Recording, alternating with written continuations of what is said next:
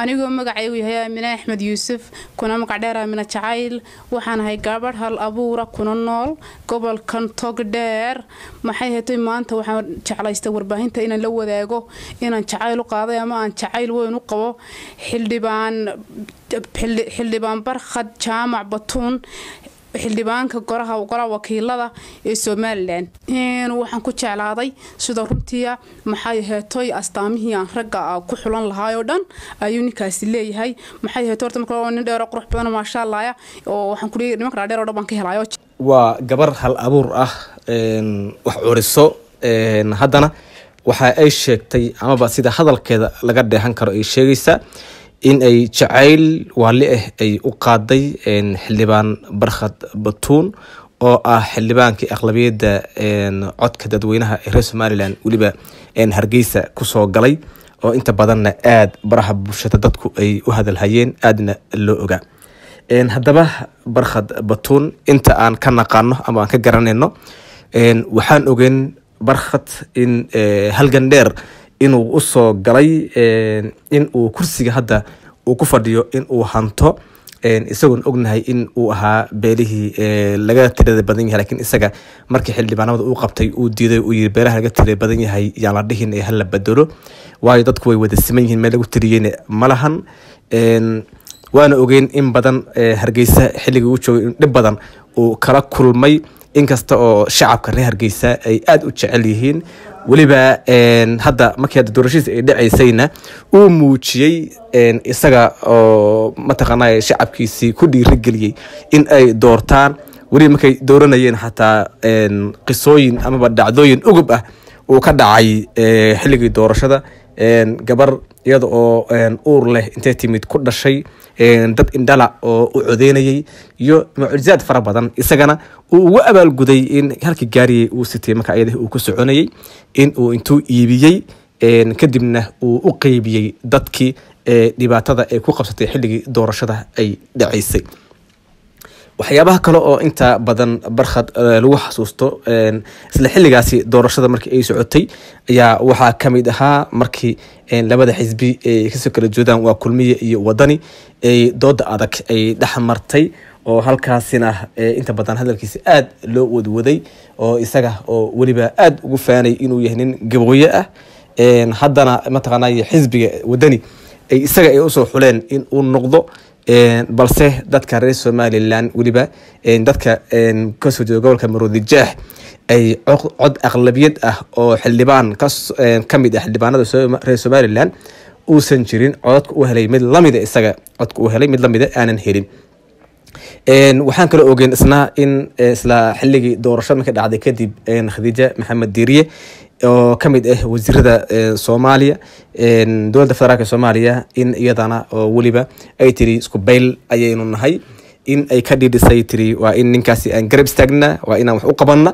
Iyada oo lacag ururisay. Kadibna xilliga hadda u dambeysay raafka uu ka socday laasacaano in barkhad batuun uu ka hadlay arrimaha laasacaanood uuna yiri amniga dhulka yaga waan suganaynaa dhiiga dadka yaga reer somalilanna dahab uu nooga qiimo badan yahay iyo hadallo lamide taasi oo inta badan ka careysiisay xildhibaanadaasi ahna wasiir federaal ah heer federaal ee soomaaliya khadiijo maxamed yeriye ayna arinta iyada ah ay tiri intay soo fariisatay warbaahintu ay hadalla gef ah amaba xanaf leh ay halkaasi ay ka sheegtay ayna tiri waa in aan lacagihii aan ururinayay aan dadkii iska lahaa aan u celiyo.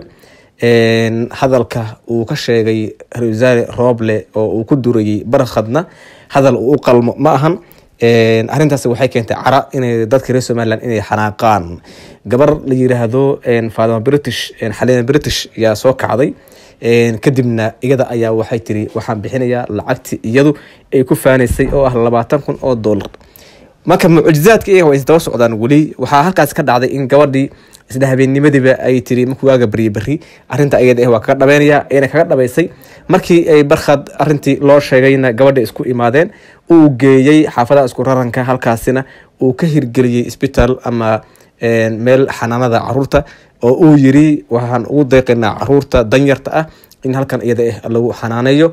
Weli waxaan ku bilaabaynaa lacagta gabadha ay mataqaana inoogu deeqday ilaahay ajar ha ka siiyo. Waxaana u bixinaynaa barkhad batuun baan u bixinaynaa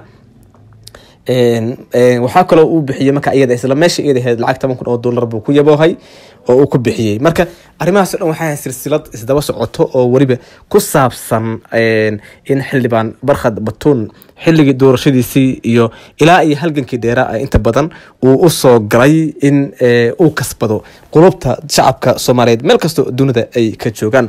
Haddaba gabadhan hadda aan maanta aan kor taagana caawadan yaa waxa ay sheegtay arrin dadka markay maqleen aada ay oola yaabeen oo ah inay tiri waxaan jaceyl xaddaaf leh aan u qaaday anigoo ah hal abuur.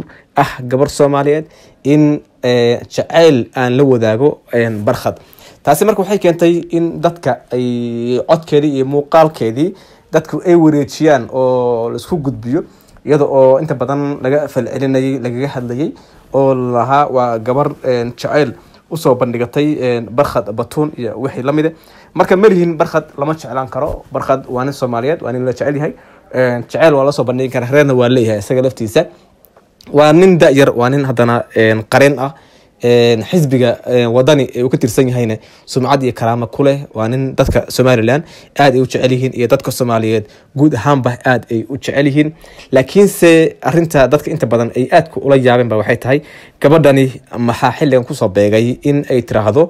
Waxaan jeclahay barkhad maadaama uu hadda uu ku cusub yahay golaha baarlamanka somalilan maxay mar hore ugu soo bandhigan weyday iyo wixii lamide kolley arrimahan marka waxay ka mid tahay ee hadda gabadha ay ka dhiidhisay in ay daba socoto uun. Mucjizaadkii farada badnaa ee inta badan ka soo daahirayay xilligii doorashadiisii iyo wixii lamide adiga wacdaraha uu ka muujinayay barkhad batuun. Taasi ood garan karto heerka wanaaga ah ee uu ka joogo. Waayo inta badan xildhibaanada amaba qofka dowladda ku jiro waxaa lagu xantaa in wixii lacag soo maro in isaga ismariyo dadkii soo doortayna uusan dib ugu celinin. Balka marka maxaad u malayn kartaa marka xildhibaankii isagoo markaa iyada ah soo galay golaha lacagtii u horeysay gaarigiis intuu iibiyey ku celiyey shacabkiisi lacagtii loogu yabooho layiri gaari ku gadana. Ugu yaboohay in mataqaanay meel xanaana carruurta ah in lagu bixiyo. Weliba dadka danyarta ah u ogolaaday. Marka arrimahaasoo dhan waxay ku tusinayaan marka barkhad halka amaba darajada uu ka joogo dadka soomaaliyeed meel kastoo ay joogaan. Gabadhan marka waxay noqonaysaa gabadhii ugu horeysay ee social mediaha la soo dhigo ay tiri weliba iyadoo hal abuur ah waxaan jeceyl u qaaday waali ah barkhad batuun. Marka dadka inta badan marka hadalkan farada badan ee hadda dadka inta badan ay buunbuunayaan ama ay hadal hayaan waxa ay imaaneysaa marka ay keeni kartaa in gabadhan iyadoo hal abuur ah oo bulshadana aada loo garan loo garanaynin in jaceyl haddana ay u qaaday xildhibaan barkhad batuun. Daawadayaal waxaa intaasi inooga dhan amaan ku soo koobayaa kelimadan amaba barnaamijkan kooban ee aan ku soo dulmeereynay amaba aan ku eegeynay waxyaabihii u qabsoomay barkhad batuun iyo waxyaabihii ku hareereysanaa ee mucjizaadka ahaa. Sida hadda gabadhan hadda sheegtay inay jaceyl waali ah ay u qaaday barkhad batuun. Intaa barnaamijkan kana kulmayno nabadgelyo